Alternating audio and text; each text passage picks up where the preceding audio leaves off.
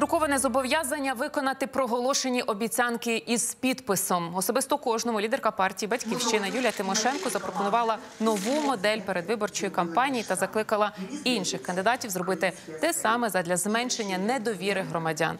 Фундаментальні положення взяті з її нового курсу: повернення Криму та Донбасу, скасування недоторканності депутатів та суддів, зниження ціни на газ, запровадження страхової медицини, підвищення пенсії до 4 тисяч гривень, кредити під 3% та головно боротьба із корупцією. Хочу попередити всіх без виключення, хто займається сьогодні корупцією, хто її очолює, що ви перший раз за 28 років будете реально відповідати. А ті, хто робив корупцію на крові, будуть відповідати по законам воєнного часу. І той, хто заробив хоч одну чорну копійку на армії, на війні, на біді, буде сидіти пожиттєво. Спуску не буде нікому. Навіть на це не сподівайтесь.